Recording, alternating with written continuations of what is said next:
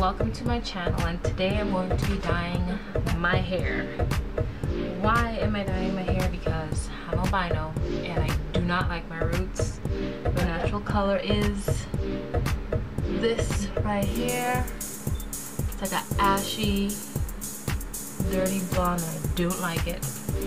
I'm going to be dyeing it with the Revlon 03 Ultra Light Sun Blonde.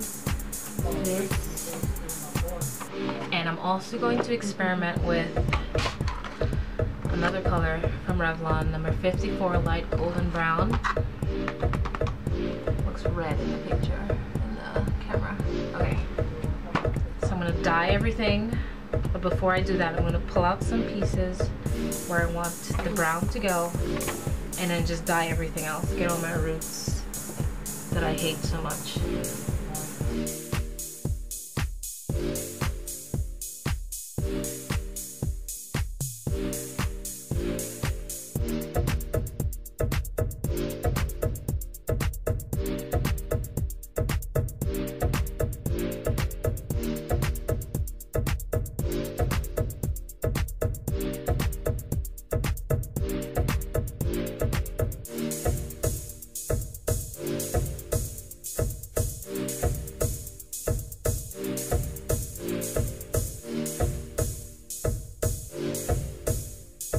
Color is in and about, oh, I can't really see. Half an hour in, it has turned to the color that I wanted. So I'm gonna go wash it out and then I'll come back.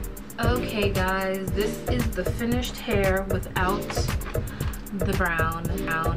Decided not to do it after I saw how good the color started to look. And the camera's picking up the color, but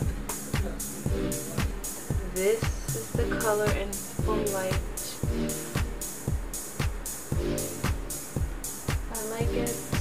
Got a lot of the color all throughout the hair. My hair is not dried out. It feels pretty good. They give you that really nice conditioner to use in your hair afterwards and that usually works. And then I would either shampoo my hair sometimes and then put my own conditioner also after. But this is it. Love it. Maybe in a month or around summertime I'll add like a little bit of color just for a little change. But yeah this is my hair. I like the color of it. Can't stop playing with it. Okay thanks guys for watching this video and please rate comment and subscribe. Bye